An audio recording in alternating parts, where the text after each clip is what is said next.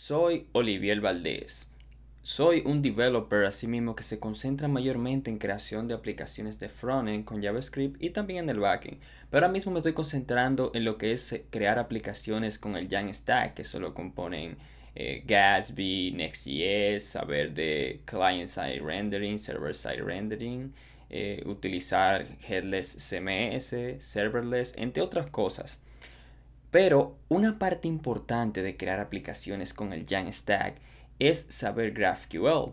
Y eso es lo que exactamente haremos en este tutorial o en esta serie de videos que vamos a saber una overview eh, rápida de lo que es GraphQL, cómo consumir APIs con React, cómo hacer cambios en el API, tanto de eh, eliminar, crear información, actualizarla, entre otras cosas. Por eso vamos a concentrarnos ahora en una primera parte, en una parte teórica, rápida y luego iremos lo que es una parte técnica en el que le enseñaré un proyecto de cómo integrarlo con Apollo Client entre otras herramientas que tengo ahí para crear las interfaz gráficas.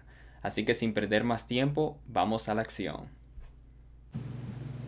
Entonces ahora nos vamos a concentrar en la parte principal de este video que como puedes ver ahí en el tema nos dice consumiendo un GraphQL API con React y Apollo Client 3. Así que antes de nosotros entrar de lleno a la parte práctica, vamos a hacer un repaso rápido de algunas cosas que tenemos que saber antes de comenzar a armar eh, lo que es totalmente en la parte ya práctica del video de lo que es nuestro eh, proyecto con React y Apollo Client 3. Entonces, lo primero que vamos a tratar es ¿qué es GraphQL? Bueno, GraphQL es un nuevo API estándar inventado y liberado por Facebook. Facebook usa GraphQL desde el año 2002 en sus aplicaciones móviles aunque GraphQL ha tenido más popularidad del lado web. Ellos crearon GraphQL principalmente para el lado mobile, pero en el lado web es que GraphQL ha brillado todavía más. GraphQL puede ser usado con cualquier lenguaje de programación y framework, tanto del lado del cliente como del servidor. Eso no quiere decir que nosotros podemos hacer un servidor de GraphQL tanto con C Sharp, Java, Python, Ruby, Go, etc. Pueden utilizarlo con cualquier lenguaje del servidor siempre y cuando cumpla las especificaciones del GraphQL. Y también lo podemos hacer del lado del cliente con Swift, Kotlin, JavaScript, Angular, React, etc. Los servidores de GraphQL no se ponen un único endpoint o URL y responden nuestras consultas o queries. Eso es algo muy diferente a REST. Cuando nosotros queremos acceder a información, tenemos que hacer a varios URL. Pero eso lo vamos a tratar más tarde y lo veremos también en nuestra parte práctica. Entonces, GraphQL versus REST. Aquí nos detenemos para ver cuáles son las características de REST y qué los representa. Una de las cosas es que, por ejemplo, que REST no se puede adaptar a los requerimientos rápidos del lado del cliente. O sea, si nosotros tenemos en los proyectos actuales, por ejemplo, que nuestro cliente a veces quiere ver una información en una página y otra información en otra. Entonces no vamos a estar cambiando nuestro servidor de, de REST en cada momento para que se adapte a las diferentes páginas que tenemos. Y que también este no trata información innecesaria en algunos casos. REST tiene una forma estructurada de acceder a la información. O sea, sabemos que si nosotros queremos acceder a la información de nuestro API hecha en REST, pues entonces tenemos que, si queremos toda la información, hacemos un get, si queremos inyectar nueva información, hacemos un post, si no hacemos un put, o sea, ya REST está muy estructurado, la forma en la que podemos o no podemos acceder a la información. Se pueden hacer consultas a varios endpoints o URL para tener la información, o sea, esa es una de las debilidades, por ejemplo, que tiene REST, que si lo compara con GraphQL, que tenemos que hacerle consulta a varios endpoints para acceder a información. Por ejemplo, si nosotros queremos acceder a la información de un usuario, pues tenemos que entrar al endpoint del usuario. Si queremos, por ejemplo, a la información de su seguro, pues entonces tenemos que entrar al endpoint del seguro. Y así podemos tener 5 o 6 endpoints diferentes, lo que en términos de organización comparado con GraphQL eh, no es tan cómodo como parece. Entonces, la característica que tenemos de GraphQL es que tanto el front y el backend pueden trabajar completamente independientes. O sea, nosotros podemos tener una, división del lado del front y el backend más natural. Los servidores de GraphQL nos exponen un único endpoint URL, como dije anteriormente, lo que simplifica todavía más eh, acceder a la información, a la organización de nuestro eh, GraphQL del lado del cliente. Los requests o consultas que hacen una API de GraphQL nos traen solo los datos exactos que deseamos. O sea, un problema que tiene REST es que si nosotros, por ejemplo, queremos eh, acceder a la información de nuestro usuario, pues se nos va a traer todo lo que tiene que ver nuestro usuario, su, dirección, su edad, su nombre, eh, um, su apellido, todo su sexo, todo lo que tiene que ver con la información del usuario. Pero si nosotros utilizamos, que eso lo vamos a ver en la parte práctica de React, si nosotros nada más queremos, por ejemplo, eh, el nombre y la edad de ese usuario, por el GraphQL lo podemos hacer así mismo. Le decimos nada más tráeme el nombre y la edad del usuario. Y él nos va a traer un montón de información necesaria que no vamos a usar en la pantalla, lo que va a disminuir el tiempo de carga.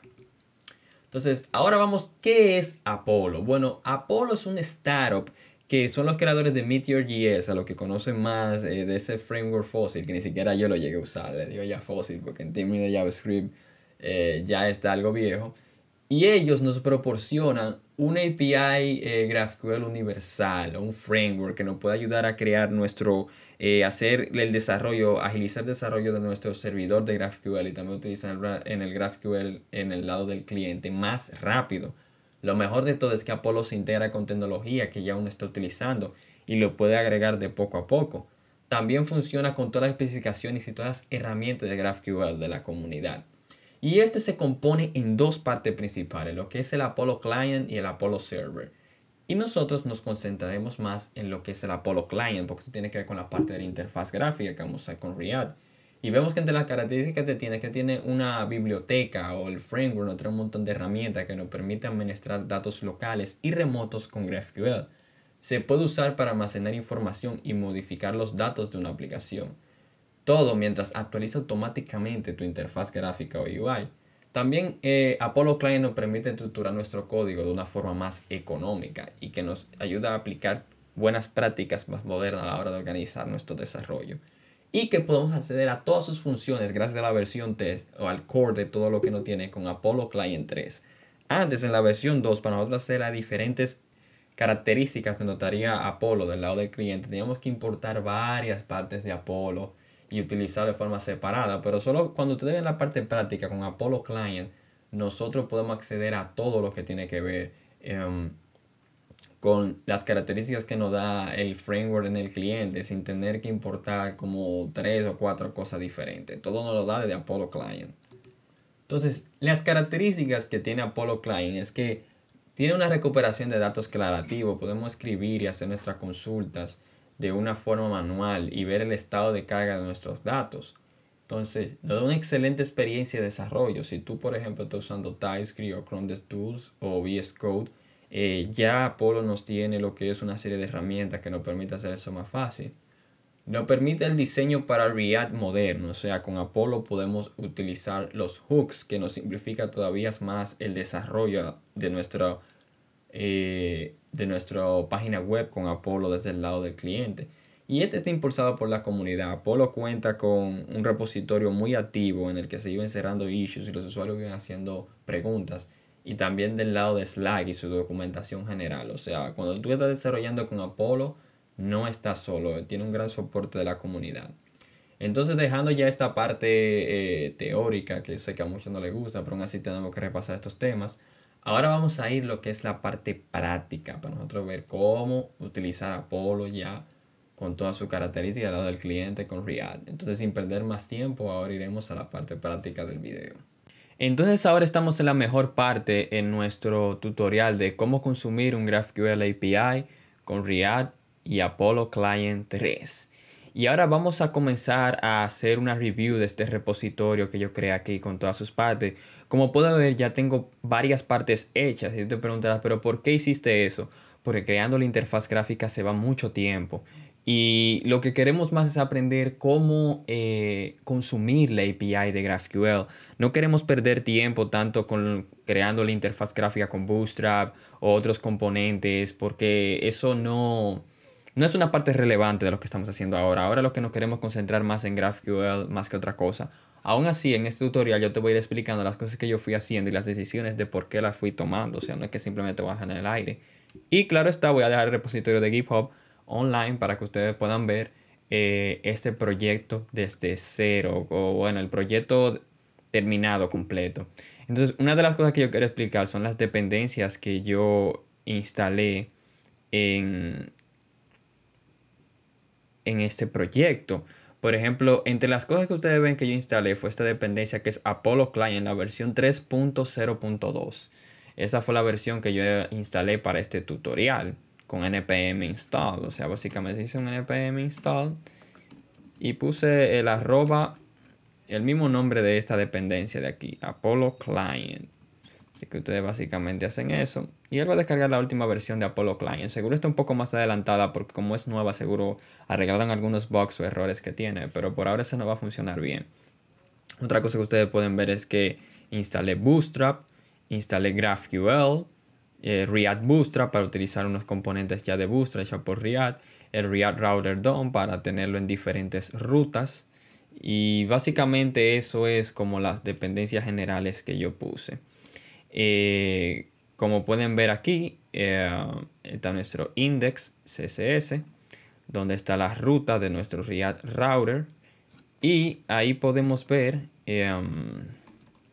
aquí podemos ver nuestro router nuestra aplicación empaquetada, que es app, y otras configuraciones que ya no tiene por defecto Create React App, además del browser para el router para movernos en diferentes rutas. Entonces aquí vamos a tener dos rutas principales si nos movemos al app aquí, que es la ruta de Rick and Morty, que vamos a consumir una GraphQL API en la serie eh, de cartoon muy popular que me gusta mucho, que es Rick and Morty y una de productos en el que ah, crearemos varios productos con la API de GraphQL. Entonces vamos a hacer mutaciones ahí. Y ahí yo les digo los componentes en el que van a aparecer las rutas. Por ejemplo, el componente Rick Morty, lo que va a aparecer es el contenido Rick Morty. Y el componente Product, lo que va a aparecer es el contenido de, nuestros productos que queramos hacer. Y ahí tengo algunos estilos ya implementados que también vienen de Bootstrap. Está implementado con Bootstrap, el Deflex para utilizar Flexbox. Entre otras cositas hay de diferentes estilos. Y aquí yo estoy importando esos componentes, además de los componentes de React Router. Entonces, si nos vamos a lo que es eh, um, el client.js, aquí en client.js es que yo voy a, configurar Apollo Client. Aquí es que yo voy a configurar todo lo que tiene que ver eh, con Apolo. Y vamos a empezar con eso. Vamos a empezar configurando Apollo Client. Una cosa que quiero que ustedes tomen en cuenta si comenzamos a correr este proyecto, si hago un npm start para hacer, eh, para inicializar este proyecto, eh, vamos a esperar unos segundos y vamos a mover esto un poquito para acá. Ustedes pueden ver diferentes tabs que vamos a utilizar alrededor de este proyecto, pero eso los tengo abiertos para que ustedes vean que, que esto que estoy haciendo no es algo como del otro mundo, sino que tenemos mucha fuente de información eh, para cómo hacerlo y voy a ir desglosándolo.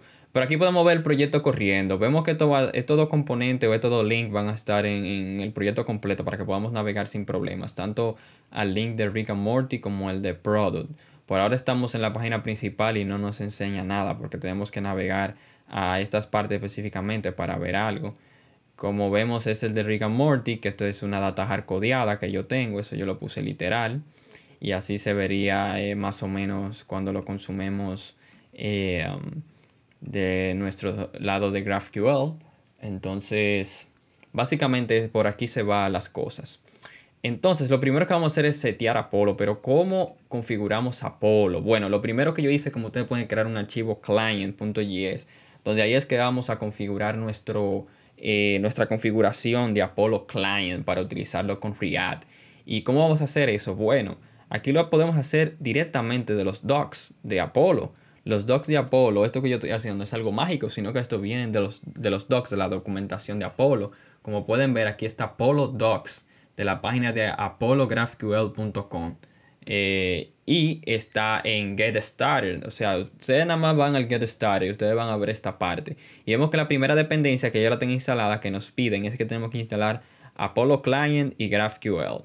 Entonces, este paquete que se llama Apollo Client contiene todas las cosas que nosotros necesitamos para nosotros manejar GraphQL del lado con React.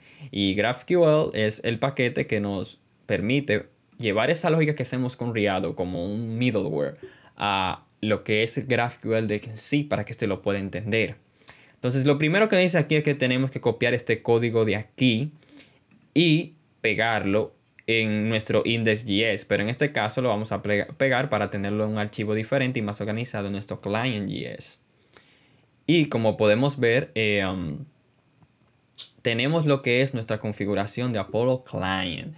Y vemos que ahí estamos importando lo de arroba, Apollo slash client. Como yo dije, ahí tenemos toda la configuración que necesitamos para React.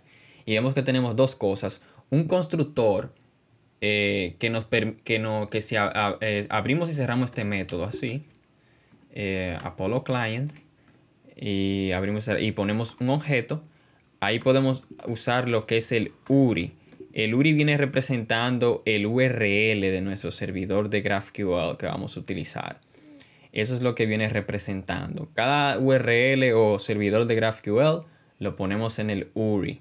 Y el caché, que hacemos una instancia New Memory Caché, que lo estamos importando aquí, es para que podamos utilizar el caché para guardar información. Ese es como el state management de, GraphQL, eh, que nos puede ayudar a, simplificar muchas cosas. Te voy a hablar más en detalle después de esto, pero necesitamos configurar estas cosas primero. Crear una instancia de Apollo Client, que es un método, eh, abrir, eh, poner un objeto y adentro, un objeto de JavaScript, abrir y cerrarlo, y poner el URL que vamos a utilizar e inicializar el caché así mismo, que tenemos ya un constructor también para eso, que ya está hecha esa lógica. Entonces lo que tenemos que hacer ahora es exportar este, esta, esta variable que está almacenando eh, este constructor de Apollo Client.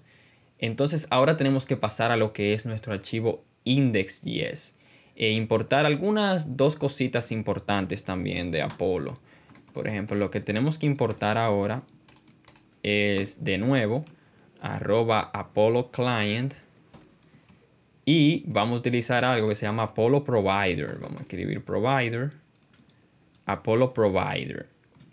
Y tenemos que importar aquí lo que es nuestra configuración de eh, que hicimos aquí en Client de GraphQL.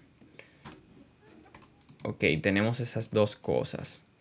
Ahora, después que tenemos importadas estas dos cosas, tenemos que hacer que esta configuración puedan acceder todos nuestros componentes de, de React que puedan acceder a eso. Pues lo que lo haremos de la siguiente forma. Entonces, lo que haremos es que vamos a poner Apollo Provider aquí. Abriremos y cerraremos este componente.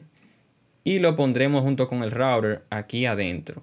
Y así vamos a exponer toda nuestra configuración de Apollo a todos nuestros componentes, así como un grapper es esto, como una grapa que está arriba de todos nuestros componentes.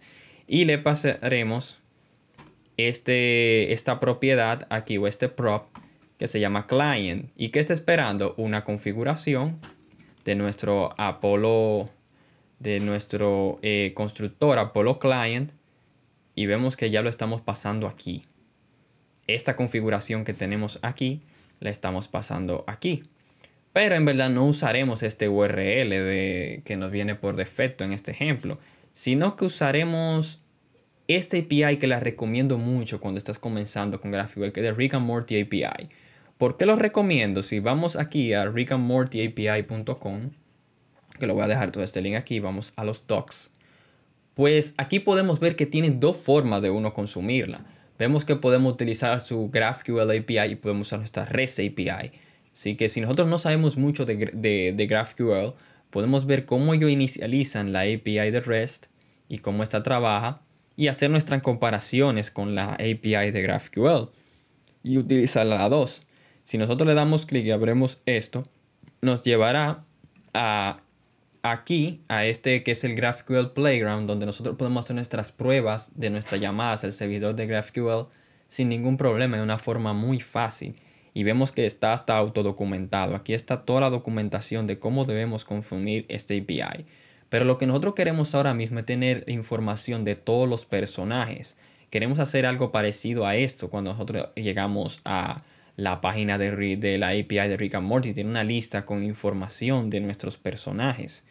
Y lo que podemos lograr eso es mediante leyendo la documentación de esta API que está autodocumentada gracias al Playground y ver cómo lo hacemos. Y vemos que para nosotros tener todos los personajes tenemos que ir a este lugar donde dice Characters y dentro de Characters iremos a Results y aquí podemos coger toda la información que está disponible en nuestro personaje. Podemos llamar el ID, el nombre, el estatus, la especie, el tipo, el género, un montón de información nosotros tenemos disponible para nosotros utilizar eh, en nuestra API de Rick and Morty. Y lo bueno, como dije anteriormente de GraphQL, es que GraphQL nos trae la información exactamente que queremos. Por ejemplo, vemos que aquí ya yo tengo un ejemplo en el que pongo el nombre del query, le pongo al characters, que tú si tú quieres tú le puedes poner un nombre a tu query o no. Yo acostumbro a ponerle un nombre para identificarlo, pero si tú quieres no se lo pone. Pero es necesario ponerle un nombre si vas a hacer más de un query en este mismo tab para poder identificar los diferentes query.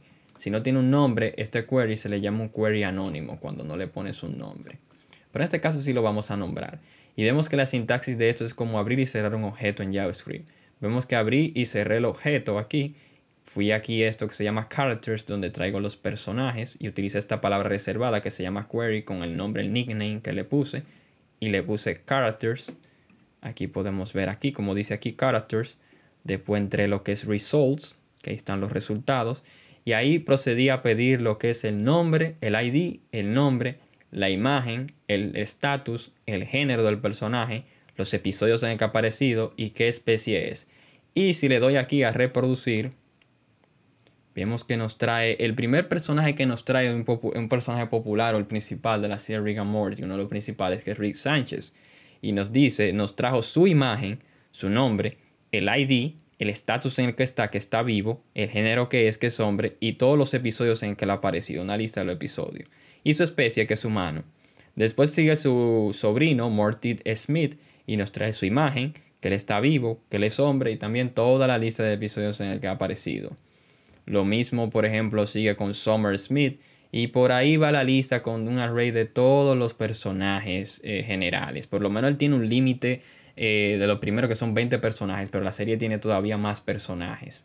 Entonces, vemos que una de las cosas que yo te decía GraphQL, que GraphQL no trae la información exactamente que nosotros queremos. Por ejemplo, si yo voy a crear otra página en la que vamos a los personajes. Yo digo, no, yo creo que nada más con el nombre de los personajes está bien. Pues entonces yo elimino el nombre de los personajes de aquí. Yo le doy a reproducir.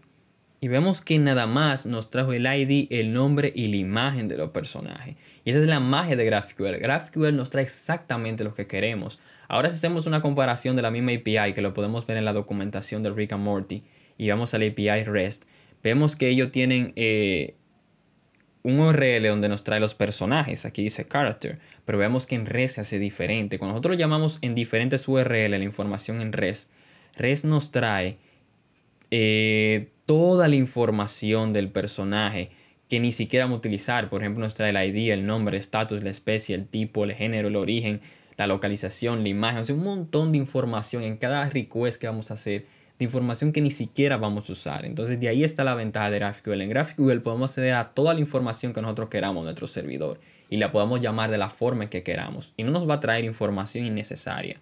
Esa es una magia que yo quería dejar claro de GraphQL. Pero aún así volví para atrás porque vamos a utilizar toda esta información que está aquí en el lado de Rick and Morty.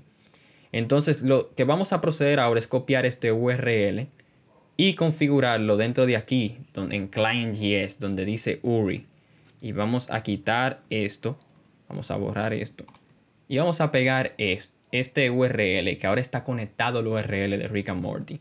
Entonces vamos a probar si esto está funcionando eh, correctamente el URL de Rick and Morty. Lo que vamos a hacer para probarlo es que um, iremos a lo que es eh, um, nuestro servidor de, en ClientJS y vamos a copiar esto, en el que vamos a copiar el mismo query que queremos. Nosotros podemos hacer una prueba rápida, a ver si está conectado correctamente. Vamos, vemos que utilizamos este método que nos trae el client, que es .query, y ahí ponemos una propiedad, un objeto, abrimos y cerramos, que se, y le ponemos la propiedad query, y aquí podemos poner un cuerpo de GraphQL para nosotros llamar la información, y este nos va a devolver una promesa con el resultado. Entonces vamos a quitar esto porque nosotros no estamos utilizando un cuerpo así, sino que nosotros estamos utilizando em, el cuerpo que nos tiene este que, que ya yo creé aquí con información relevante que vamos a usar. Y vamos a quitar esto de aquí, de esta parte que se llama query, que es este el query de nuestro cuerpo de GraphQL. Y vamos a pegar el de Rick and Morty. Y vamos a ponerlo un poco más bonito para que esté más legible. Em, ah, vemos que me está poniendo un error aquí abajo en la consola que se me olvidó, que no hemos puesto una parte importante cuando vamos a hacer un query de GraphQL, es utilizar eh, este, este método parece que se llama GQL, que nos permite ahora hacer el query en una sintaxis para que GraphQL lo entienda. Entonces vamos ahora a utilizar eso. Vamos a llamar este método aquí, que también Apollo Client nos lo trae eh, por default. Es una G. GQL. Ok. Y ahora ya nos está quejando. Ahora lo siguiente que vamos a hacer, a ver si de verdad nos trajo esa información en un... Nos trajo esa información de nuestro servidor de GraphQL. Es que vamos a refrescar la página. Y vamos a ver la consola aquí, que como vieron aquí yo estoy imprimiendo, que estoy haciendo un console log del resultado. Entonces vamos a ir aquí a la consola y podemos ver un objeto. Y voilà, aquí vemos el array con toda la información. Miren, lo mismo que nosotros tenemos aquí. Vemos aquí Rick Sánchez, humano, él está vivo. Y si vamos aquí a la respuesta JSON que nos trajo aquí de nuestro servidor de GraphQL es lo mismo. Así que vemos que no pudimos conectar correctamente a la API. Pero nosotros no vamos a utilizar esa llamada ahí, ni mucho menos. Nosotros vamos a utilizar eso dentro de nuestro componente de Rick and Morty. Y ese es el siguiente paso que vamos a pasar. Ahora tenemos que ver cómo conectarlo con React y cómo nosotros eh, lo podemos utilizar ahora, nuestra lógica de GraphQL. Entonces vamos a pasar ahora aquí al componente de Rick and Morty y voy a proceder a explicar algunas cosas. Eh, lo primero que voy a comenzar a explicar es eh, del componente Rick and Morty. Eh, aquí va en parte del código, como yo les dije que ya yo tengo hecho. Y aquí podemos tener un componente de Bootstrap. Este es un componente de Bootstrap que ya no tiene por default, que miren que estoy importando de React Bootstrap para agilizar el trabajo, porque como pueden ver, si me llevo de poner estilos, pues no, no avanzamos en este tutorial. Entonces aquí podemos ver que aquí usamos una propiedad de aquí para que ustedes se familiaricen con React Bootstrap. Pueden ir a la página de reactbootstrap.netlify.app. Aquí está toda la documentación y todos los componentes que yo utilicé. Y de los componentes que yo utilicé, por ejemplo, uno que se llama cars. Vamos a pasar a este car que nos permite hacer así mismo con una, carta. Eh, y de estas propiedades de aquí que yo saco los componentes y las propiedades que yo estoy utilizando. Y también tenemos uno que se llama container y row, que se nos permite crear, hacer que nuestro componente se adapte a diferentes tamaños de pantalla. Eso es lo que nos sirve y eso lo podemos ver aquí en layout. En layout nos explica cómo usar con container y row. Si tú estás familiarizado con Bootstrap, eh, vas, a, vas a saber todo este tipo de cosas y estas configuraciones que yo hice. Además de importar React Bootstrap, yo también importé eh, el archivo de CSS de React y lo puse, de, de Bootstrap mejor dicho, y lo puse aquí en index.js para que ustedes sepan. Déjame ver dónde fue que yo lo puse o fue en app. Ajá, en app importé bootstrapdits.css en min CSS para tener estilos de las diferentes clases de Bootstrap. Quería también explicar ese detalle. Si ustedes quieren saber cómo eh, inicializar eso bien o cómo yo lo hice, nada más tienen que ir al Getting Started de aquí e instalar React Bootstrap y Bootstrap y y eh, pegar lo que es este archivo CSS en su app.js, que ahí mismo no lo dice nuestro index.js. Quería dejar esto claro de esa configuración que yo hice. Entonces, volviendo aquí a nuestra API de Rick and Morty, eh, ahora tenemos que probar lo que es nuestra, la, la, conexión entre nuestra API de GraphQL y React. Entonces lo siguiente que vamos a hacer es importar Apollo Client aquí en el componente de Rick and Morty. Vemos que yo tengo importado Apollo Client y tengo dos cosas importantes. Como le dije, el, el GQL que nos permite nosotros sí hacer el cuerpo del query de la información que nosotros queremos. Y aquí tengo un, un hook de los React Hook que se llama useQuery, que nos permite utilizar lógica de React para diferentes cosas, para actualizar la interfaz gráfica, para poner lógica, para, para para hacer cosas asíncronas. Los hooks, los hooks nos permiten hacer diferentes cosas en React. Entonces, lo primero que haremos es el cuerpo de qué es lo que nosotros queremos en nuestro, eh, um, eh, nuestra API de Rick and Morty. Entonces, algo muy común cuando nosotros vamos a utilizar GQL es escribir una variable donde contenga lo que nosotros queremos y el nombre de nuestra variable ponerlo en mayúsculas. Eso es algo muy común. Así que vamos a ponerle al all characters para coger todos los personajes. En mayúsculas es normal poner esto. Entonces ahí utilizaremos nuestro método de, GQL y ponemos string pero en un string cualquiera, no es nada más abrir single quotes, que eso era otro punto que yo tenía que decir, sino que nosotros tenemos que utilizar este tipo de string que lo utilizamos por ejemplo para string interpolation cuando queremos utilizar un objeto de JavaScript eh, um, con objeto de JavaScript dentro de un string. Ese es el string inverso. No recuerdo exactamente cuál es el nombre de este carácter, para serle sincero. No recuerdo ahora mismo. Pero que quede claro que no son single quotes, sino que es el, tipo de comilla que, que, está en el tope del teclado. Ese es el que nosotros tenemos que utilizar cuando queremos hacer un query. Entonces vamos a utilizar la ventaja que tiene el Playground. Como ya yo hice un query aquí adentro, yo sé que ese query está funcionando correctamente. Por lo más sencillo que tenemos que hacer es copiar este query y utilizarlo aquí adentro, porque ya probamos dentro del Playground que este query corre sin problemas. Eso es lo bueno del Playground, que podemos hacer un testing dentro de él para saber si nuestros queries van a funcionar correctamente antes de utilizarlo dentro de React, Angular, Vue o cualquier eh, framework o tecnología que utilice nuestro GraphQL del lado del cliente. Entonces lo que procederemos aquí a copiar y procederemos a poner esto un poco más, la indexación más bonita para que se entienda más. Y aquí tenemos nuestro query con todo nuestro personaje. Le pusimos el nombre de all characters para coger todos los, todos los personajes de la serie de Rick and Morty. Entonces lo siguiente que utilizaremos es el use query. Eh, que ese no permite cachar la llamada que va a llegar de nuestro servidor de GraphQL. Y ustedes van a ver eso en breve. Por ejemplo, aquí utilizamos el use query.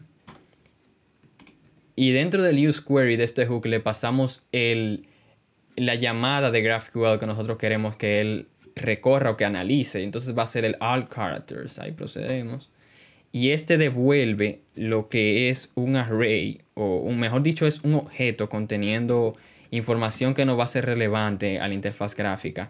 Una de las cosas que él devuelve es eh, la data, que representa la data de la información que nos va a devolver de nuestro servidor de GraphQL que queremos enseñar en la interfaz gráfica. Lo otro será el estado de carga el loading, que es que no va a aparecer como está haciendo la llamada al servidor de GraphQL, no que va a aparecer en unos segundos, que va a durar algunos segundos para tener esa información. Por eso vamos a tener eh, una lógica ya que nos va a esperar cuando esa carga esté terminada. Y uno para manejar errores, que no toda la vida es color de rosa. Si aparecen errores al llamar a nuestro servidor de GraphQL, pues ya tenemos también una lógica para manejar el error. Entonces, lo que hablaremos de la forma más sencilla, lo que haremos ahora mismo es eh, um, probar si nuestra conexión se hizo correctamente a nuestro servidor de GraphQL, pero antes vamos a tener diferentes lógicas. Lo primero que vamos a cachar, por ejemplo, cuando está cargando nuestro componente, cuando la información de nuestro servidor de GraphQL no está lista. Y para eso vamos a hacer de la forma más sencilla, vamos a hacer un if aquí. Y vamos a poner una condición en el que será que si, si todavía está cargando eh, para traer la información de nuestro servidor de GraphQL, pues entonces vamos a renderizar o vamos a enseñar un componente eh, aquí cuando está cargando. No vamos a enseñar nuestro contenedor aquí completamente con esta información hardcodeada que yo tengo, sino que vamos a tener un componente de carga, lo que este está cargando. Entonces vamos a utilizar lo que es el spinner, que esto también es un componente ya de que nos trae eh, Bootstrap.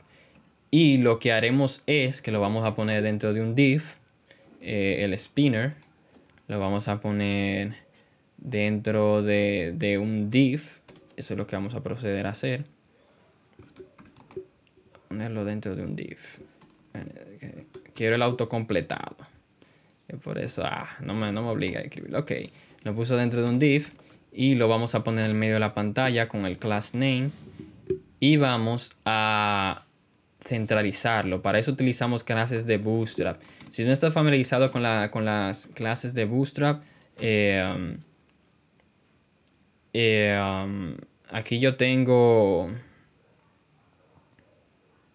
Si no estás familiarizado con las clases de Bootstrap, aquí yo tengo lo que es... Eh, Aquí yo tengo lo que es ya un componente ya para, manejar eso, pero también aquí yo tengo la documentación de Bootstrap. Tú vas a getbootstrap.com y ahí tú puedes ver todas esas clases que yo estoy utilizando aquí de CSS, que ya nos tiene Bootstrap por defecto para agilizar el trabajo, como dije anteriormente. Y aquí vamos a llamar este componente que se llamará spinner. Este componente. Ustedes pueden ver que ese componente está aquí en React Bootstrap, que ya está hecho con su lógica. Si vamos, por ejemplo, a Components aquí y vamos dentro de... Vamos a buscar spinners. Mira este que se llaman spinners. Eh, este componente. Ahí lo vemos dando vuelta al spinner. Y vamos a utilizar... Eh, um, me gusta el color azul. Vamos a utilizar el componente azul. El info, que me gusta ese. Vamos a utilizar este componente, el info. Y vamos a pegarlo aquí, el info. Eh, vamos a retornar que estoy haciendo algo mal aquí, que vemos que la consola me está gritando, porque no estoy retornando este componente que ellos están esperando eso, que yo retorne eh, el componente. Entonces, para que él sepa que este es el componente que él va a retornar, cuando esté eh, esperando el estado de carga. Ya él sabe que eso es lo que él va a retornar, tranquilito. Entonces, este le vamos a poner un tamaño. Vamos a ponerle que el tamaño de este sea, vamos a ver cómo le queda. Eh, el width, vamos a ponerle que sean 120 eh, píxeles. Y el height, que ese es el alto. Vamos a ponerle 120 también. Vamos a ver cómo se ve en la pantalla cuando, cuando está cargando de los dos lados. Este va, este va a traquear, para yo volver a repetir, este es el componente que va a traquear cuando está cargando, cuando todavía está llamando nuestra información de GraphQL. Entonces, si nosotros vamos a React aquí, en esta parte donde tenemos React y refrescamos la página. Y esperamos aquí a ver qué pasa. Vemos que ahí está cargando, está cargando, se quedó en estado de carga. Y cuando la información está lista, renderiza esta pantalla. Aunque ese no me gustaba, eh, ese spinner de Grow, yo creo que el que yo quería era, eh, que me gusta más, este que da vuelta. Vamos a ver cómo es que se llama ese, para pasarle. Se llama Border. Es el que yo quiero. Me gusta más Border que el de Grow. Dame poner Border. A ver cómo se ve. Y volvamos aquí. Vamos a ver cómo se ve border ahí. Mm, se ve muy pequeño, en verdad lo quisiera un poco más grande. Vamos a darle 150 píxeles, a ver.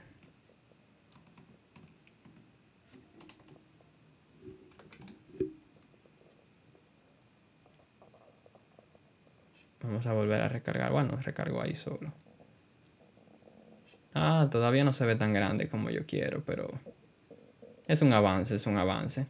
Entonces ahí vemos eh, el estado de carga y después que termina de cargar vemos que él vuelve a pintar la pantalla con este componente que tenemos aquí abajo. Cuando ya deja de cumplirse la condición de que el componente está cargando y que eso es true, que eso es verdad, por eso es que yo lo puse ahí dentro de un if así loading, que eso de una vez automáticamente sabe que yo estoy esperando. cuando sea true dentro de él, cuando esto sea igual a esto, a esto que ustedes ven aquí, true, eso es lo que estoy diciendo implícitamente, pues él va a enseñar ese componente del spinner. Ahora, si deja ese true y se vuelve false, que ya termina de cargar, pues entonces él va a pasar al bloque de aquí abajo, porque ya esa, condición, ese if, no se está cumpliendo, y va a renderizar lo que es ese componente que tenemos aquí, que es el que ustedes terminan viendo al final aquí en la pantalla, donde está este personaje de Rick and Morty.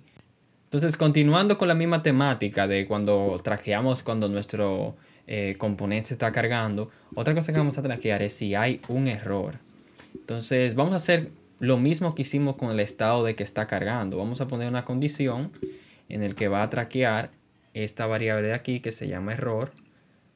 Y si la condición es verdadera, si hubo un error mientras está cargando otro componente, vamos a escribir un párrafo aquí que va a decir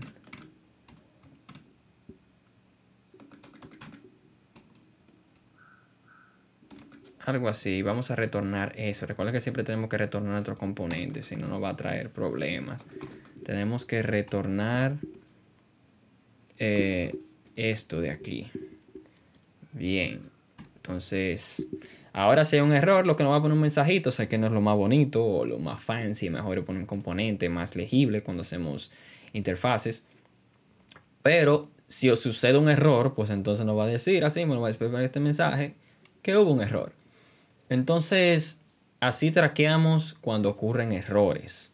Ahora vamos a ver, después de todo eso, si nuestra información está llegando correctamente. Vamos al viejo console log para ver cómo está ingresando esta data, porque la data, eh, esa variable que tiene la información que llega eh, de nuestra variable aquí de all characters.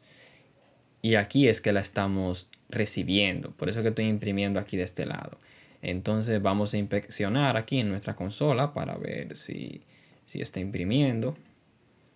Y si vamos por aquí, bueno, vamos a volver a refrescar esto de aquí. Refrescaremos. Y vemos que sí, apareció nuestro characters, nuestro personaje. Déjame ver si yo borré aquí en client. Ah, sí, está.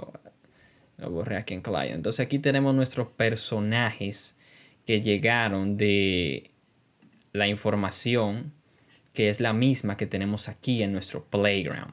Entonces vamos a proceder a hacer lo siguiente. Vamos a, limpiar un poco más esta información que tenemos aquí. Lo que vamos a agarrar es esta parte que dice characters. Vamos a agarrar eso y lo vamos a poner en una variable. Vamos a grabar const. Vamos a poner eh, characters. Vamos a crear una variable. Vamos a poner data. Eh, punto characters aquí. Y vamos a guardar esto que se llama aquí, ah, déjame darle para atrás, se llama results.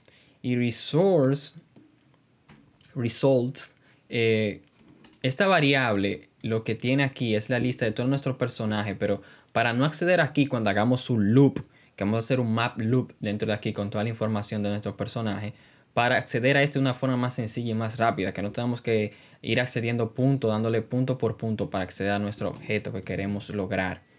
Entonces, lo siguiente que vamos a hacer ahora mismo es eh, hacer ese loop donde tenemos todos estos personajes para tener información dinámica, porque lo, lo, que yo hice ahora fue tener esta imagen siempre estática, sí, pero queremos que se haga una carta, un card por cada personaje de Rick and Morty. Y eso es lo que vamos a hacer aquí. Entonces lo que haremos es... Em, lo que haremos es lo siguiente. Eh, vamos a abrir y cerrar las llaves aquí y vamos a utilizar characters.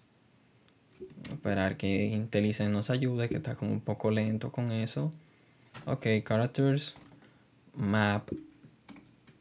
Y usaremos un character pero individual y vamos a loopear, vamos a movernos en un loop por cada uno de, estos personajes para crear la información específica de ellos. Entonces lo que vamos a hacer es que vamos a agarrar todo esto aquí de card y lo vamos a mover para acá. Lo moveremos para acá. Y también la columna, también ahora que me fijo. Tenemos que bajar la columna también al nivel de, de los personajes porque queremos que él tenga también su columna individual para que eh, el, el responsive funcione bien por cada uno. Vamos a mover eso para acá. Vamos a indexarlo un poco más bonito. Entonces, lo siguiente que haremos es... Eh, vamos a indexar esto para acá. Vamos a moverlo un poco para atrás. Ok. Entonces, lo siguiente que haremos para continuar con nuestros pasos es hacer que aparezca, vamos a poner un key, porque en React es esencial que le pongamos un key, un identificador único cuando estamos en un loop. Y el mejor identificador único que tenemos es el ID, que lo estamos recibiendo también de, de este GraphQL query que tenemos aquí. Otra, otra ventaja que yo puedo decir que podemos percibir cuando hacemos un GraphQL query es que cuando hacemos una llamada a una API REST, nosotros no sabemos que nos va a volver esa API. Nosotros tenemos que ver en el network, hasta hacer un console log o usar Postman para nosotros saber qué nos está devolviendo. Pero si vamos aquí, nosotros ya sabemos lo que la API nos está devolviendo. No tenemos que usar Postman ni usar el console log, nada de eso. Cuando nosotros, por ejemplo, vemos que este llamado de aquí va a devolver lo que es el ID, el nombre, la imagen, el estatus, el género, los episodios y la especie de esa persona. No tenemos que utilizar otra cosa externa para saber, en el mismo código nosotros sabemos qué es lo que nos va a devolver, que es otra ventaja podemos ver utilizar GraphQL. Entonces, lo siguiente que haremos es utilizar una imagen, porque queremos la imagen individual de cada personaje. Entonces quitaremos todo esto de aquí y pondremos eh, eh, el personaje, character, image para tener su imagen. El siguiente paso que vamos a hacer es ponerle el nombre, que vamos a tener el nombre del personaje. Y haremos lo mismo, queremos el nombre individual de cada personaje aquí. Entonces, lo que haremos ahí es poner character eh, punto name. Y ahí tenemos el nombre individual de nuestro personaje. Entonces, lo siguiente que haremos es ponerle el estatus es lo que va aquí. El estatus de nuestros personajes. Entonces seguimos escribiendo character status. Y de aquí vamos a poner el género. Entonces, character eh, gender Y ahora en esta parte, ah no, el género no iba ahí, sino él iba a la especie. Ahí me confundí. Ahí lo que va es la especie es, no va el género, el género va aquí abajo es. Ok, ahí va el género. Y, eh, digo, ahí va la especie. Y ahora aquí vamos a poner el género de nuestro personaje. Si es hombre, mujer, si es desconocido. Ahora sí es gender y el episodio en que apareció. Pero el episodio vamos a hacer un twist un poco diferente con los episodios. Porque él, nos muestra todos los episodios en el que aparece. Sería hacer un loop. Pero yo lo que quiero en verdad aquí es el primer episodio en el que ellos aparecen. Así que para nosotros hacer en el primer episodio, lo que tenemos que hacer es character, eh, episodes, ir aquí en episode. Vamos a copiar esto. Para hacer el primer elemento de un array ponemos un 0 y volvemos a poner episodio aquí. Y ahí eh, tendremos el primer episodio en que ya aparece. Ahora vamos a ir a nuestra interfaz a ver cómo luce todos estos cambios que hicimos aquí para hacer un repaso de esto. Aquí esperamos que el componente cargue trayendo toda esta información. Mientras esté cargando va a enseñar este spinner de este lado. Si aparece un error, pues entonces nos va a poner este mensaje, there is an error. Y después vemos que aquí yo, para simplificar las cosas, creo una variable que se llama characters y en ese tengo el resultado de lo que nos pone en nuestro, eh, nuestro servidor de GraphQL y yo hago un loop en el que yo comienzo a mandarle su información, un map a cada uno de, de las cartas individuales que se van a quedar aquí para que nos informen la, la, información individual de cada personaje, tanto con su key, con su ID, con el, la imagen, el nombre, el estatus, la especie y el género y el, el primer episodio en que ellos aparecieron. Vamos a ver aquí, a ver qué sucede. Vamos a refrescar esto, a ver si no hubo ningún error. Y voilà, podemos ver exactamente lo que yo les dije. Aquí podemos ver nuestro primer personaje que es Rick Sánchez con su nombre, su imagen, su estatus de que él está vivo, su raza, que el género que es hombre y el primer episodio en que él aparece que es la temporada 01, episodio 01. Entonces, el segundo personaje es Morty Smith y tiene más o menos la misma información. Summer, aquí podemos ver a Albert Einstein, que también aparece en la serie.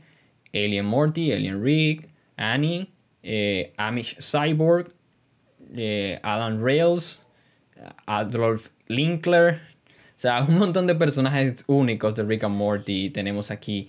Y vemos que cada uno tiene su imagen individual y su información individual de cada uno.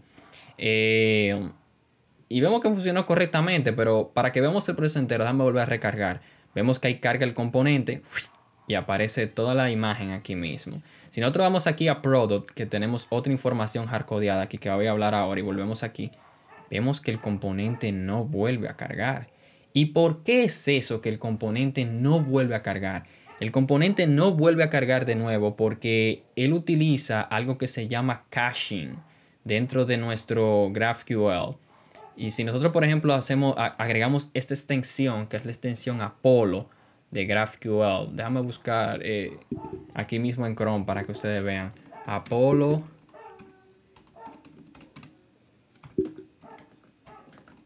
GraphQL extension. Y vemos que nos aparece aquí en la misma primera búsqueda de Chrome. Esta extensión que se llama Apollo Client Developer Tools, que ya yo la tengo instalada, nos pone una serie de cosas que nos ayudan a nuestro desarrollo. Por ejemplo, nosotros podemos hacer queries aquí nos ponen la lista de todos los queries que tenemos aquí en nuestro all characters que él estaba eh, haciendo un washing de los requests que estábamos haciendo. Podemos hacer mutaciones aquí, aquí hay una lista de los logs de la mutación o los cambios, que también voy a hablar de qué son las mutaciones después. Podemos hacer los queries aquí y utilizar variables, lo mismo que hacíamos aquí en el playground. Aunque a mí me gusta más hacerlo en el playground, en verdad, sinceridad. Pero si tú no quieres moverte para ningún lado, tú puedes hacerlo aquí mismo. Y también lo puedes haber una parte muy importante que es el caché. ¿Pero qué nos sirve el caché? Como su nombre lo indica, que ustedes seguro están familiarizados con caché en sus celulares o algo así. El caché nos permite guardar o cachar información de los queries que ya hemos hecho anteriormente. Y cuando nosotros vamos a varias páginas de nuestro, por ejemplo, una página que utilice esta misma información y con este mismo cuerpo de todos los personajes y que tenga el género, el estatus, la imagen, el nombre y todo eso, de que no vuelva a repetir el request, sino que toda esta información de las imágenes y el nombre y el género y todo eso de los personajes ya lo tiene guardado en un caché y nosotros podemos acceder a eso en diferentes páginas web. Él no tiene que volver a hacer un request, no va a haber un estado de carga en que nuestro usuario va a esperar a que la información llegue, no. Ya eso va a estar guardado en el caché y cuando él termine en esa página ya lo esa información. Por eso ustedes ven que yo paso a este lado de aquí, que ya yo tengo una página, una información estática que no está haciendo ningún request aquí.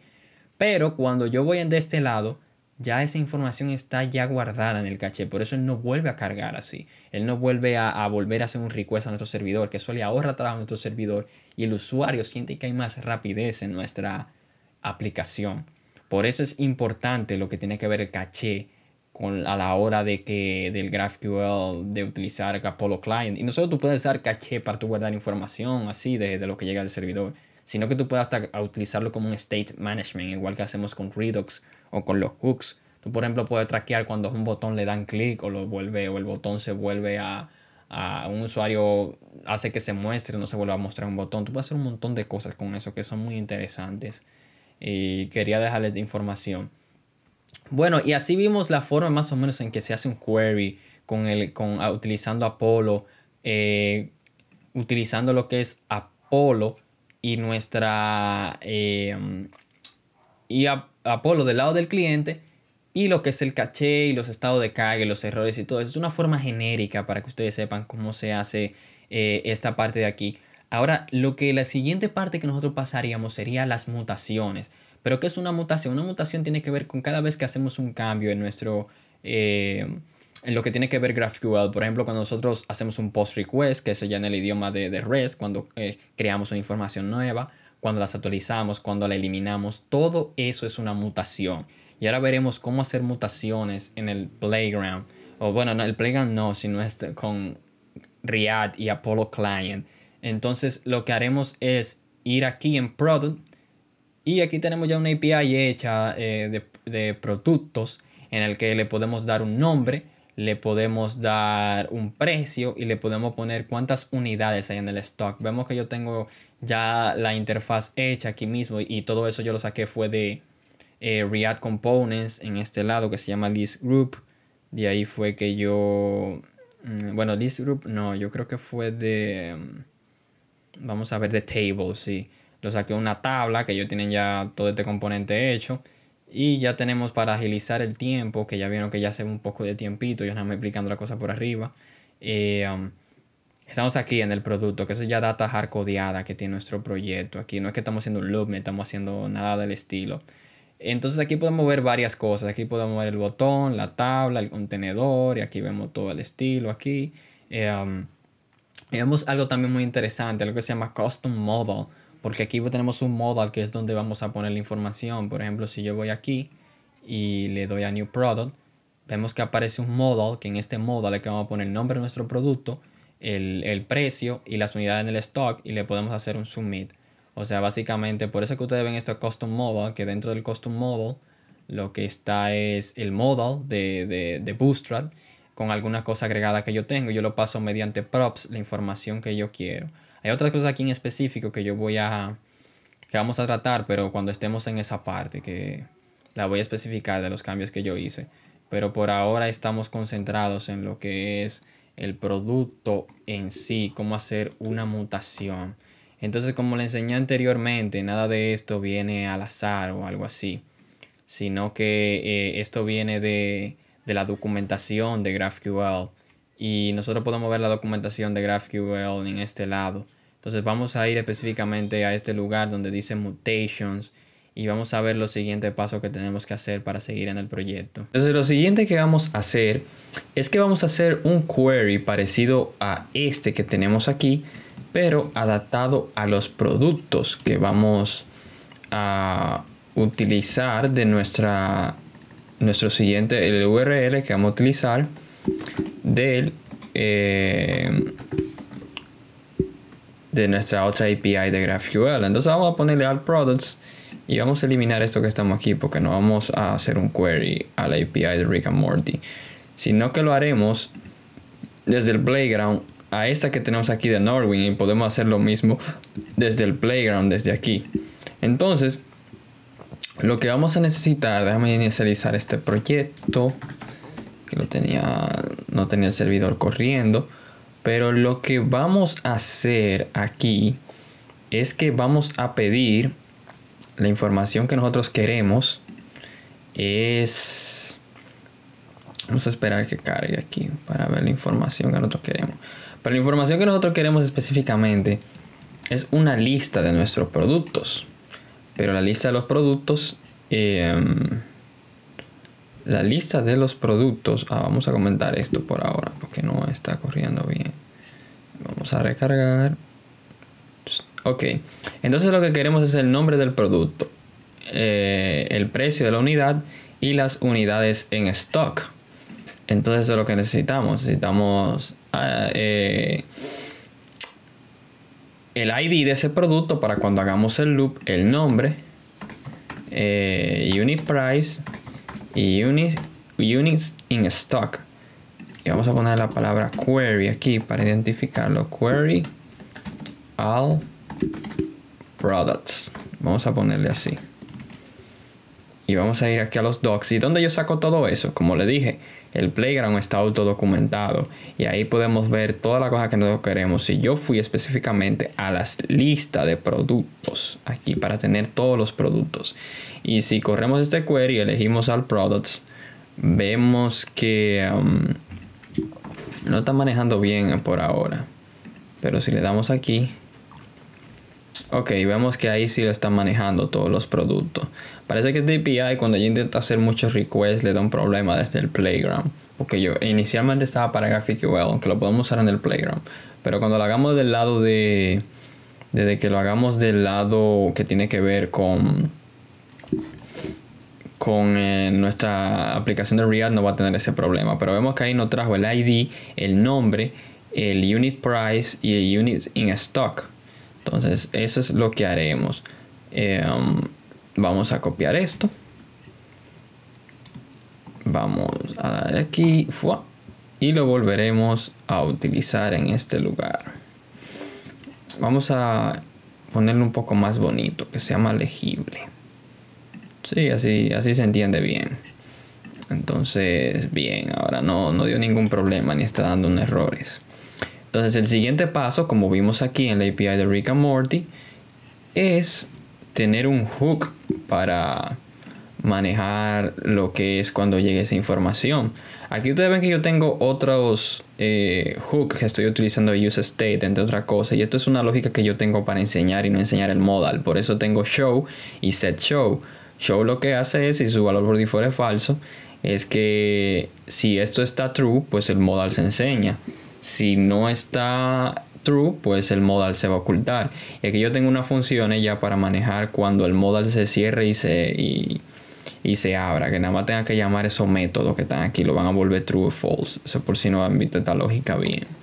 Entonces voy a copiar esto de aquí. Pero recordemos que este use query no está en all characters. Sino que lo utilizamos es all products. Pero aquí vamos a hacer un twist un poco diferente para nosotros poder utilizar URL, una forma que podemos hacer en el Playground es importar eh, nuestro, eh, nuestro módulo, módulo del cliente que tenemos aquí. Y vemos que dentro del módulo del cliente tenemos lo que es Client Product. Y lo que vamos a llamar aquí va a ser Client Product. Déjame llamar Client Product aquí. Y lo pasaremos esta nueva instancia de, Apolo lo pasaremos como objeto que lo toma aquí, que se llama client. Y pasaremos lo que es client product. Y ahí él se va a conectar correctamente a lo que es la API. Eh, esta instancia que creamos aquí, recordemos, con el URL del Norwind. Entonces, el siguiente paso que vamos a hacer en Product es crear así un estado para manejar el error, la información, entre otras cosas. Vamos a crear diferentes componentes con eso. Y recordemos que ya tenemos ya esa lógica hecha aquí. Lo que vamos a copiar y pegar esto de aquí. Para que tengamos lo mismo. Vamos a copiar y pegar esto. Ok, ya tenemos una forma de manejar cuando se está cargando eh, la información y cuando esta tiene un error. Ahora lo siguiente que tenemos que hacer es ver si la data está llegando correctamente. Entonces para saber eso vamos a hacer un console log de toda la vida y ver qué nos llega en data, ahí en data, para ver qué nos está llegando. Y vamos a ver qué pasa aquí. Entonces, um, si refrescamos aquí para ver, ver ahí cómo carga ahí nuestro componente. Eh, y vamos a ver si está llegando la información. Vamos a ir a la consola aquí y vemos un objeto y en ese objeto está el viewer y el product list con la lista de todos nuestros productos y vemos que está llegando correctamente.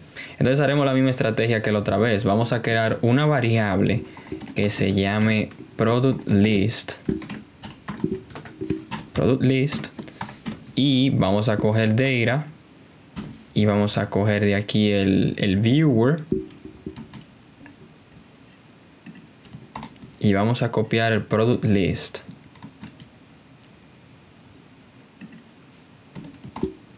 Oh, ¿qué fue lo que hice? Ok, vamos a copiarlo ahora aquí. Product list. Entonces aquí tenemos el array de todos los productos que nos llegan eh, de nuestra API de GraphQL. Entonces lo que haremos es un loop en el que crearemos diferentes tablas aquí con la información específica de cada uno.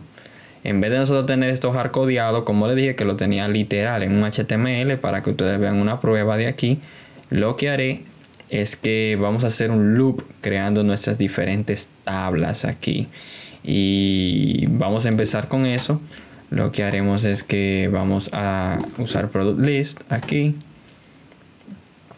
O sería bueno que le ponga products.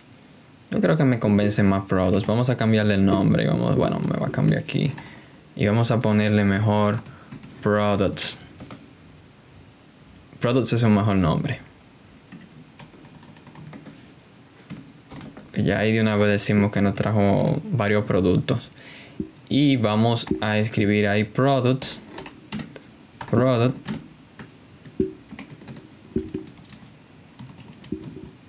Y vamos a poner esto aquí adentro porque queremos poner la información individual de cada uno de esto para crear esta parte de aquí. Y dentro de lo que tiene que ver nuestros productos le pondremos un key para identificarlo cuando recorramos cada uno de ellos. Y el key que nosotros podemos utilizar es product underscore id y para el nombre eh, utilizaremos product eh, punto name. Y para el producto será eh, product eh, um, vamos a ir acá unit price.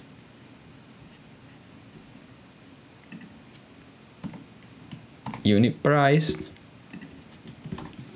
y aquí product. Eh, el último es unit in stock. Para tener las unidades que tenemos disponibles. Ok todo está excelente. Entonces si todo salió bien vamos a ver cuál es el resultado de nuestro array de productos. Vamos a refrescar aquí y voilà, tenemos todos los productos con su nombre, su precio de la unidad y las unidades disponibles en el stock. Vemos este array con todo eso y tenemos su estado de carga y todo ese tipo de cosas. Vemos que si cambiamos aquí el API de Rick Morty, como habíamos refrescado la página, pues se refresca, pero si volvemos ya cada uno, como ya está en el caché de, de nuestro eh, de Apolo en el caché, pues él no vuelve a hacer un request al servidor, sino que ya esa información está en el caché y si volvemos a esa página, él no vuelve a poner el estado de carga porque eso ya está guardado aquí. Bien, aquí tenemos todos nuestros productos. Entonces, el siguiente paso que tenemos que hacer es hacer una mutación. Y aquí va la pregunta, ¿cómo se hace una mutación? Como le dije, aquí tenemos la documentación para ayudarnos. Y vemos que existe un hook para eso que se llama Use Mutation. Y vamos a utilizar una lógica que tiene que ver con eso de Use Mutation. Para hacer nuestra mutación tenemos aquí este botón que se llama New Product que abre un modal y en ese modal pondremos el nombre, el unit price unit in stock y le daremos a submit cuando estaremos listos. Eso es lo que haremos. Toda esa lógica está implementada aquí dentro de nuestro componente que vemos aquí que se llama New Product y aquí tenemos nuestro Custom Model que ahí está el modal que nos enseña para nosotros poner eh, nuestro lo que es eh, nuestra información que queremos cambiar y, enviar a nuestro servidor de, um, de, nuestro servidor de GraphQL. Entonces lo primero que vamos a llamar aquí es el use mutation para hacer mutaciones. Eh, use mutation. Vamos a poner una coma. Y vamos a hacer vamos aquí a nuestra documentación para copiar y pegar alguna cosita. Eh, y vamos a poner que voy a explicar ahora mismo eh, la lógica que tiene que ver con esto. Entonces el, en vez de add to do tenemos que crear también un query y ese query es el que se va a encargar de la mutación. Y si nosotros vamos a este playground eh, um, y nosotros ya yo tengo un query hecho que se llama add product. Entonces este add product tiene una prueba que es para crear un producto con esto. Entonces lo que vamos a hacer con el add product es para hacer una mutación, que usamos el keyword mutation para hacer una mutación. Y vemos que en el doc para uno elegir agregar eh, información, ya ellos tienen una mutación aquí, mero aquí mutation. Entonces está en query, sino mutation que se llama create, eh, create product, que es el que yo estoy utilizando aquí. Y yo le puse el nickname para identificar lo que se llama product. Entonces vamos a copiar todo esto. Ya yo tengo ya una lógica implementada aquí para agregar nueva información y vamos a crear un, una variable también en mayúscula para llegar a hacer esto que se llama add product. Y em, vamos a utilizar nuestro método de GQL y vamos a copiar y pegar esta mutación que se encuentra aquí. Ok así se ve más bonito. Eh, vamos a quitar eso del type name que por ahora no va a ser necesario. Em, y vamos a poner un detallito que yo no había puesto, es que nosotros vamos a poner información dinámica aquí. Ahí yo tengo data hardcodeada aquí, que es que pongo el valor literal, pero vamos a usar una cosa que se llaman query variables. Y para uno utilizar un query variable, uno tiene que abrir y cerrar eh, como si fuera un método aquí. Y aquí uno pone la variable que uno va a utilizar y le pone el nombre. Por ejemplo, en este caso utilizamos el símbolo de dólar para decir que una variable y utilizamos una variable que se llame name y especificamos el tipo de dato de name que va a ser un string y un signo de exclamación que significa que no puede ser null. Y lo mismo ahora vamos con unit price. Ponemos otra variable que se llama unit price y ponemos el símbolo de dólar para que él sepa que es una variable. Y en este símbolo de dólar el tipo de dato que coge unit price es float y este no puede ser null. Y tú vas a decir, Olivier, pero ¿dónde que tú sacas toda esa información que tú dices aquí? Todo eso te lo dice aquí en, la, en los docs de aquí. Por ejemplo, si vamos a create mutation y vamos a arguments, que es lo que nosotros pasamos aquí, vemos que él lo que acepta es product ID un float, name es string, category ID es un float, y ahí nos dice el tipo de datos que acepta cada uno. ahí no podemos guiar. Entonces, eh, ahora mismo vamos a ir a Unit in Stock. Eh, y vamos a hacer el mismo sistema. Es con lo mismo todo. Y este también es un float.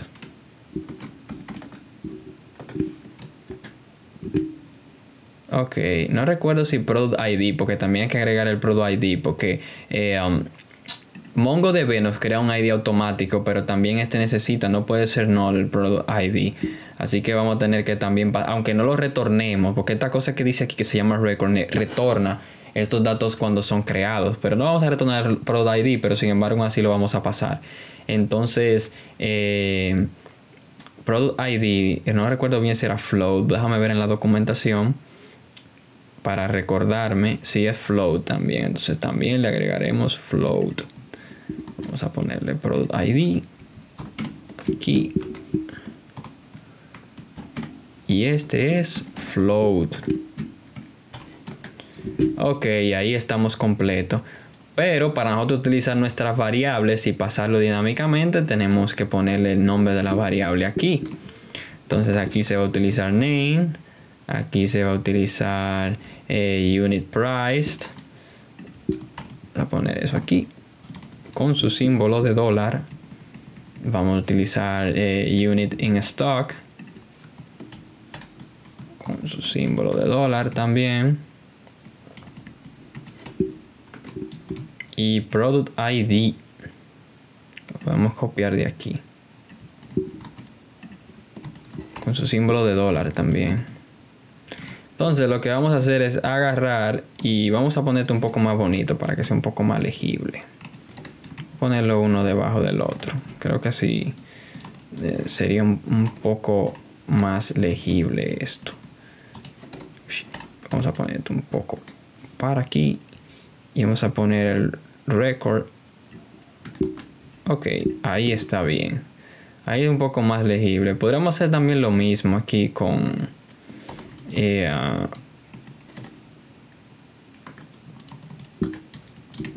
un poquito esto también para ponerlo más legible. Que eso tan largo así no, no nos ayuda mucho. Yo creo que es un poco mejor esto. Un poco mejor de esta forma. Entonces, ahora el siguiente paso que tenemos que hacer es em, poner nuestra variable aquí. Vamos a poner, bueno, nuestro query de mutation, add product. Y aquí tenemos add product, pero vemos que tenemos un error porque yo tengo data repetido dos veces. Entonces vamos a poner este método en vez de add to do, add product y este eh, data sería eh, um, new product o algo así.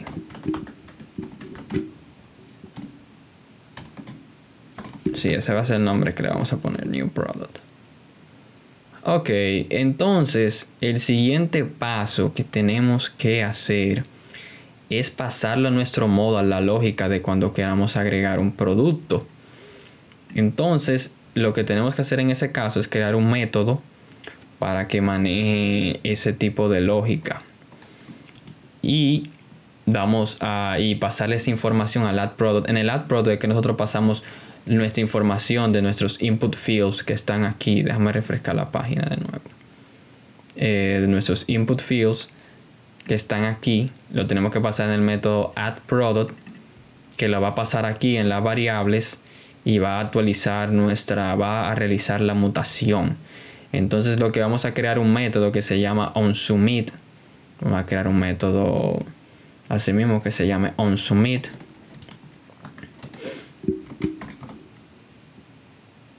Vamos a crear una función. Vamos a ponerle un nombre que se llama onSubmit y va con unos parámetros que le vamos a poner, que va con un objeto que se llama input.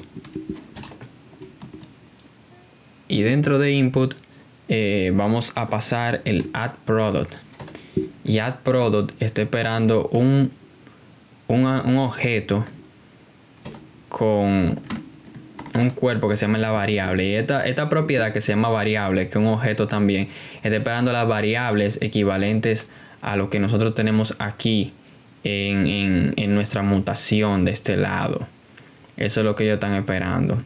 Entonces, eh, aquí pondremos el nombre de nuestras variables y pasaremos un submit dentro de custom model que yo creo un prop que es la set aquí um, entonces pasaremos aquí.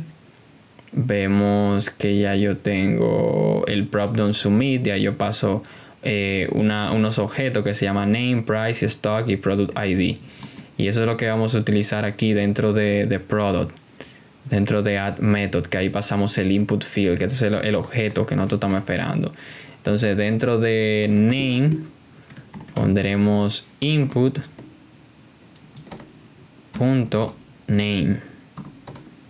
Que recuerden que esto viene de esto de aquí. Eso nosotros lo estamos pasando aquí. Entonces el siguiente price eh, ah no estamos aquí en product. Price que es equivalente a unit priced. Poner unit priced. Y pondremos input punto price. Luego el siguiente que estamos esperando es unit in stock. Ahora lo cogí de aquí pero lo mismo. Unit in stock. Units en plural.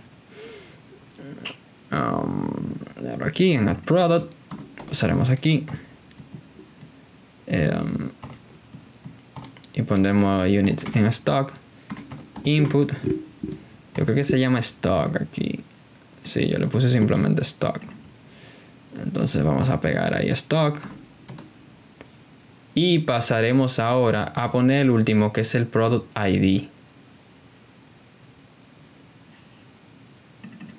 product ID es la última que nos falta por actualizar en nuestro método.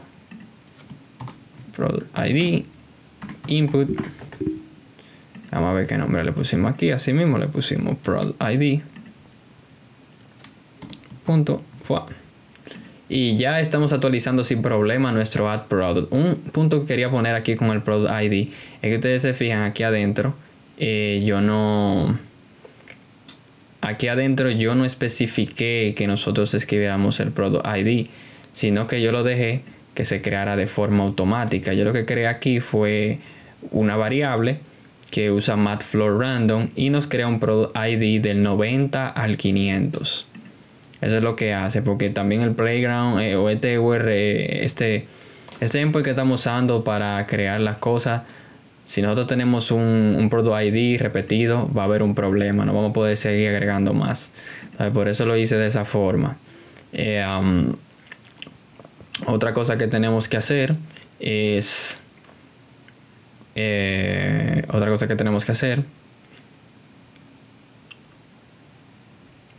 es también crear un, estado de carga para cuando se está recargando nuestro, nuestro endpoint. Eh, bueno, cuando estamos haciendo mutación a nuestro graphical endpoint, pero cuando lo hacemos cambios que también tiene que haber un estado de carga ahí. Entonces lo que haremos aquí es un OR y pondremos new product y new product tiene el loading state eh, que es equivalente al estado de carga de aquí. Ah, no, pero yo tengo que cambiar esto un poco porque aquí yo estoy haciendo un object destructuring y en verdad eso no es lo que yo quiero. Yo lo que quiero es que aquí nada más este new product y con New Product sea un objeto que nosotros podamos acceder a todas nuestras diferentes propiedades que vamos a utilizar aquí. Por ejemplo, lo quité. Vamos aquí. Aquí le damos punto L y vemos cómo nos aparece el loading. Y ahí va a aparecer la animación del spinner cuando esté cargando aquí. Y lo mismo cuando existe un error en la mutación. Vamos a poner que aparezca New Product eh, new product new product punto error y ahí va a manejarlo con esta misma lógica también lo del spinner y lo del error Entonces tenemos que hacer otra cosa también diferente aquí que, no hemos hecho con nuestro ad. Em, nuestro uh, ad Déjame ver dónde que está. Hasta yo estoy un poco perdido. Ok. Nuestro add product. Que es que no es simplemente que nosotros ya pongamos la mutación y lo va a hacer automáticamente. No. Nosotros tenemos que poner una lógica ahora para actualizar el caché. Porque ahí, además de actualizar a nivel del servidor, queremos actualizar la del caché. Y eso se llama Optimistic, Optimistic Update. Que no vamos a esperar a que esté cargando el componente. Sino que automáticamente nosotros vamos a actualizar el caché y así se va a reflejar en nuestra interfaz gráfica los cambios que también están en el servidor. Entonces para hacer eso tenemos que hacer una lógica un poco diferente de esto y esa lógica es un poco larga. Eh, um, por eso vamos a ver las mutaciones de cómo se hace eso. Incluso tengo un texto de aquí porque es un poco larga la lógica de cómo se hace eso. Déjame buscarlo aquí, que tengo parte del código. Estos son de los sheets míos para no perder la no perder la, el hilo de lo que nosotros estamos haciendo. Para eso tengo mis sheets de este lado. Y lo que haremos es, estoy buscando dónde está lo de la lógica. Ok, mira estos sheets que tenemos aquí. Te voy a explicar algo. Y vamos a copiar esto que tiene aquí. Yo te voy a explicar qué es lo que hace eso. Eh, de actualizar el caché. Entonces, si nosotros ponemos todo eso aquí de este lado, eh, vemos que está dando un error porque no puse parecer los nombres igual.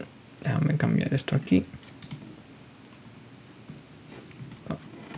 Ok. Entonces ahí puse add product. Y em,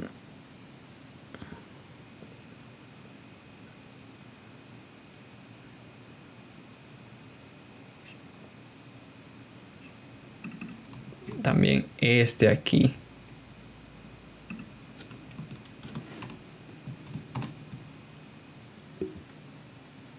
Ok, ahora no tiene problemas. Tenemos add product tenemos new product y tenemos out product. Ahora déjame explicarle esa lógica. Aquí hay un objeto que después ponemos después de add product y dentro de ese objeto nosotros actualizamos el caché y él viene con un método que se llama update y dentro aquí nos va a dar un nos va a dar lo que es eh, un objeto que tiene métodos entre otras cosas y propiedades y la data que viene siendo la nueva información que nosotros creamos cuando hacemos un add product aquí Aquí nosotros podemos acceder la información de este lado.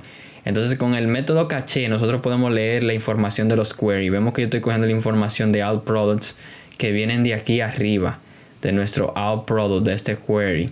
Entonces después que yo tengo out products, em, yo puedo escribir el query y poner el query en específico que yo quiero actualizar, que es out products y hacer lo que es un object distro, eh, usar el spread operator aquí para yo copiar toda la información que existe en nuestro product list, que la estoy cogiendo desde aquí, la información que viene de All Products y agregar la nueva información aquí de este lado. Sí, es complejo. A mí incluso no me gustó mucho como React, en mi, en mi opinión personal, ellos manejan eso, las mutaciones. Lo de los queries lo manejan muy bien, pero esto puede parecer un poco complejo, principalmente la primera de cómo actualizar el caché, si me lo preguntan a mí personalmente. Pero así es que ellos lo manejan por ahora. Ya incluso antes era un poco más jodón, pero con los hooks se puede trabajar mejor. Entonces, eh, eso es básicamente lo que queremos hacer con el Optimistic Update. Eh, um, otra cosa que queremos hacer con el Optimistic Update es eh, prácticamente en nuestra hojita de sheets, porque es un poco larguito, vamos a usar este método que se llama Optimistic Update, que es una propiedad. Es una propiedad que viene en nuestro add product aquí. A bajarlo un poco. Y ahí que ponemos específicamente. Vamos, vamos a esperar que no, que no ayude aquí. Ah, Ah, no, eso está aquí adentro, se me olvidó. Eso, eso, eso está aquí adentro junto, junto con el variables. Está en este nivel, el nivel de variables. Vamos a poner optimistic response. Bueno, podemos copiar y pegar lo que yo tenía ahí en mi. Eh, en mi hojita de cheats. Voy a quitar esto de aquí. Lo que está pasando aquí, para que ustedes entiendan, es que cuando nosotros queremos hacer un optimistic response, tenemos que pasar incluso hasta estos underscores que ustedes ven ahí. Eso es, son palabras eh, no que aparecen cuando lo utilizamos en nuestro playground, pero son palabras reservadas que eh, eh, especifican el tipo de dato, de esquema que devuelve nuestro, um, nuestro de lo que devuelve nuestro eh, um, GraphQL server cuando nosotros hacemos una actualización. Por eso que tenemos que ser específicos con eso. Y le ponemos lo mismo input name, el input price, el input stock. Y aquí como no podemos tener el mismo ID, pues entonces lo que ponemos es un ID random que tal vez represente en ese momento temporalmente, porque después va a cambiar el ID de verdad, el ID que nosotros vamos a tener. Entonces, después de esto, lo que haremos es que vamos a probar si funciona correctamente. Una cosa que se me olvidó hacer aquí es que nosotros no queremos que nos pongan los récords de forma normal, sino que la información que nosotros agreguemos se va a poner al final de la cola, se va a poner al final de lo que es eh, um, nuestro products. Entonces, lo que tenemos que hacer es que yo quiero cambiar, que esto es una buena situación para que ustedes vean esto es la forma en que nosotros vemos nuestro producto y lo vamos a organizar de diferentes formas. Lo que haremos es que aquí dentro del viewer eh, vamos a hacer un sort. Vamos a utilizar un método que se llama sort. A ver que no aparecen aquí. O dentro del product list. Yo creo que dentro del product list, no de viewer. Sí, yo me acuerdo que es de, de product list. Ok, y haremos un sort aquí. Y dentro del sort vamos a poner que queremos que no aparezca en el ID descendente. Queremos que nos ponga así del último, desde el último al primero. Queremos que nos organicen de esa forma. Vamos a copiar eso aquí en Products. Ok, vamos a hacer de esa forma. Em, vamos a ir para acá. Para que cargue, que cargue. Y vamos a agregar nuestra información a ver si pasa correctamente, a ver si si las cosas están funcionando bien.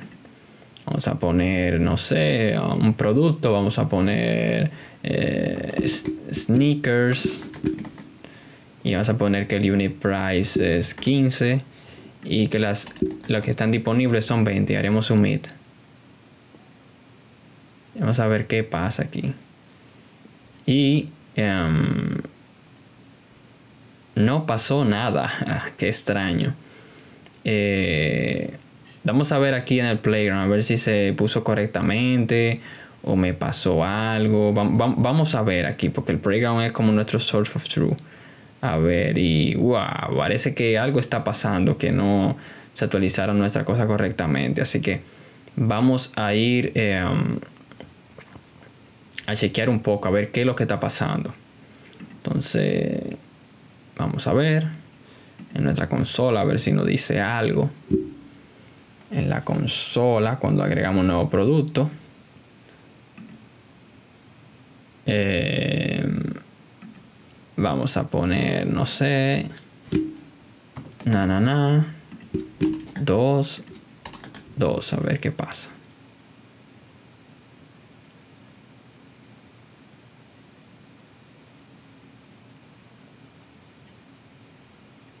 Y no se pone, qué raro.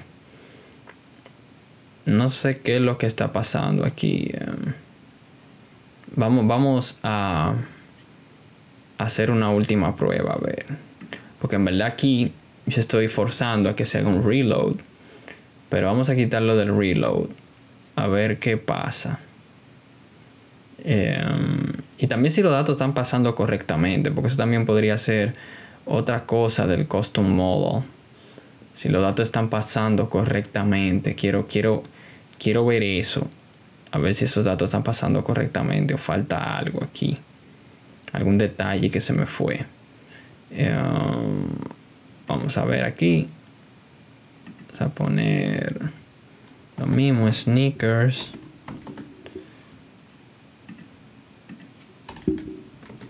$15 dólares, vamos a poner, yo no sé, algo así, que 20 la unidad. Hagamos un submit y nos dice que hay un error y vamos a ver qué es lo que está pasando. Eh, oh, creo que ya sé cuál es el problema. Se me olvidó, en verdad, vamos a refrescar aquí, que ya yo sé qué es lo que está pasando aquí.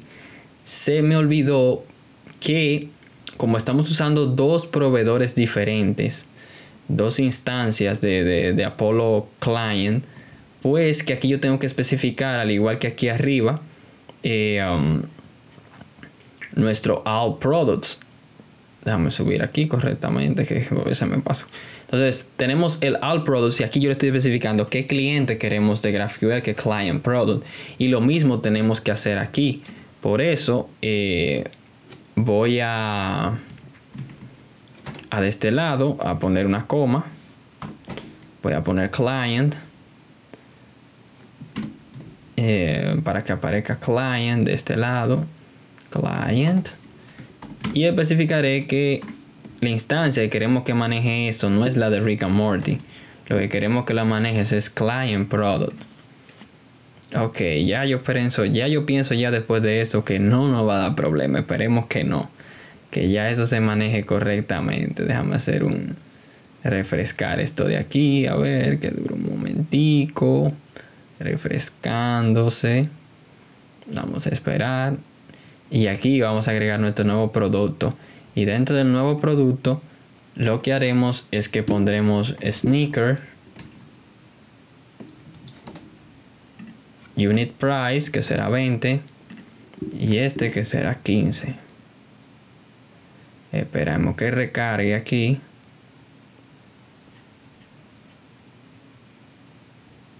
Y no vemos sneaker todavía. Oh God, ¿qué es lo que estará pasando? Déjame ver si aquí en nuestro playground se ve. Vamos a darle al products. Y vemos que todavía no. No está funcionando. Vamos a chequear un poco más a ver qué es lo que lo está afectando. Eh, intentaremos así mismo de ver el console log yo voy a ver qué está llegando aquí en el, en el input field. A ver qué tal vez algo es que no lo está ayudando a, llegar. O será dentro de aquí nuestro new data. Mm. Estoy revisando a ver qué podría ser la razón. Mm, vamos a ver qué llega del input aquí un console log de toda la vida.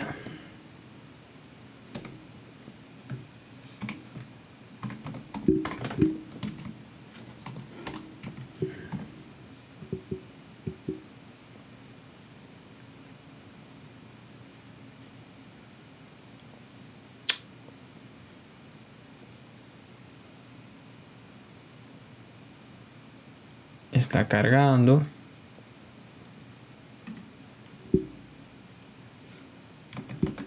poner demo, sí. Uh, probando, a ver. Y sí, vemos que pasa correctamente. Y sí, se creó nuestro demo aquí. Eh, se creó, ahora sí se creó sin problemas.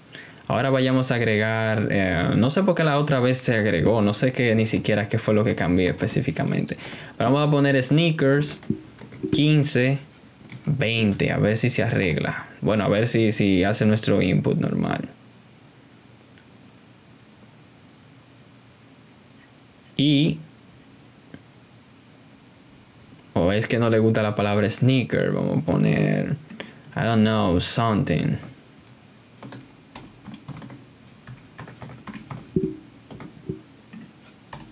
...12 y vamos a ponerle 5 unidades y vamos a darle submit. Lo que me encontré raro es que Demo sí lo tomó, pero las otras cosas eh, no. ¿O será también que la API está teniendo... Em, vamos a ver con el console, a ver qué pasa aquí. A ver si está llegando correctamente, porque eso también puede ser un asunto aquí. Mm, vamos a poner un nombre ahí random. 20. Submit. La consola.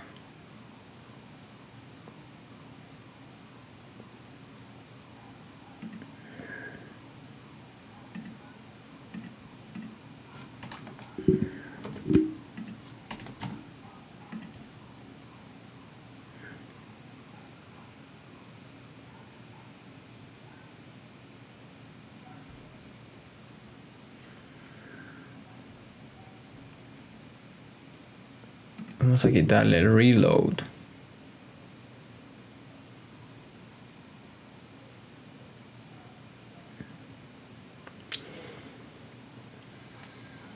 Para ver algo, a ver ahora.